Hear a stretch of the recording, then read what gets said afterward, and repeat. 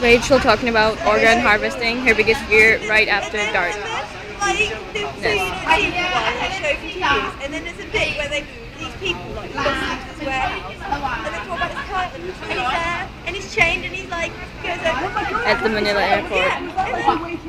Yeah, and he has like, over his eyes because they're taking his corneas for their, and they're taking his like, organs, liver. Liver.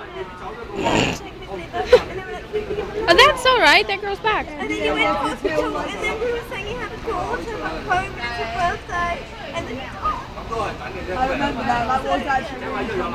It's legit traumatising, so now I'm scared of organ harvesting. You know what else is traumatising? Taken. Have Taken? I love Taken. Oh my That's god. because Liam Neeson's just not my dad. He's not my dad, so if I got kidnapped, it would be like, fuck. What? rather be so- I would rather be sold as a sex slave than sold to be organ harvested. I do